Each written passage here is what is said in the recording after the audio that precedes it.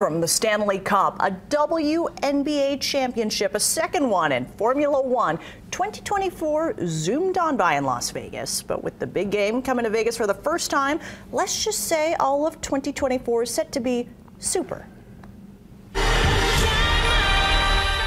2024 starts on a high note. Christina Aguilera's residency at Voltaire started New Year's Eve weekend and continues. Then CES, with expectations to be at pre pandemic attendance levels with 3,500 booths and AI dominating inventions.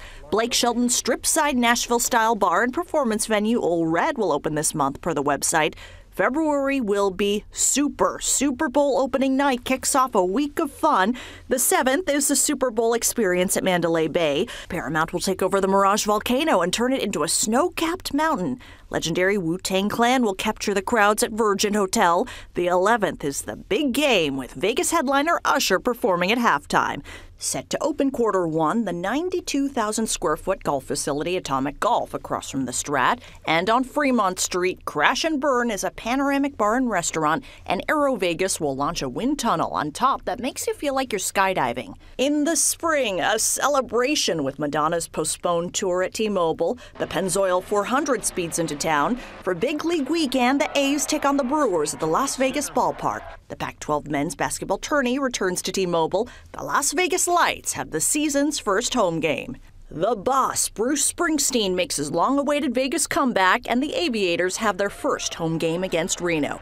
April brings Phish, the second headliners at the Sphere, and the Sick New World Festival with System of a Down and Slipknot. May is music to your ears. REO Speedwagon at the Venetian, and the Rolling Stones are back at Allegiant. Our two time WNBA champs, the Aces, kick off the season at Michelob against the Mercury. And EDC lights up the sky. Summer, the World Series of Poker is back. Spiegelworld will open disco show with entertainment, a bar and diner. The 400,000 square foot retail property Boulevard on the Strip with H&M, Adidas, and Puma could be finished by August.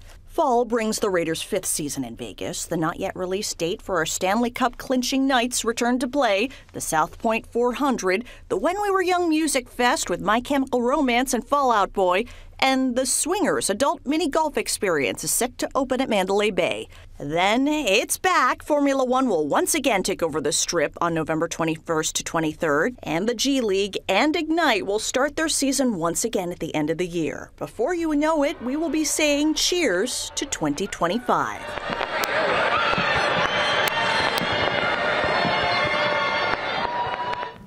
Well, it's going to be packed once again. So the Dream Hotel, it had previously announced it was going to open in late 2024, but construction had been halted months ago. No word when construction could resume.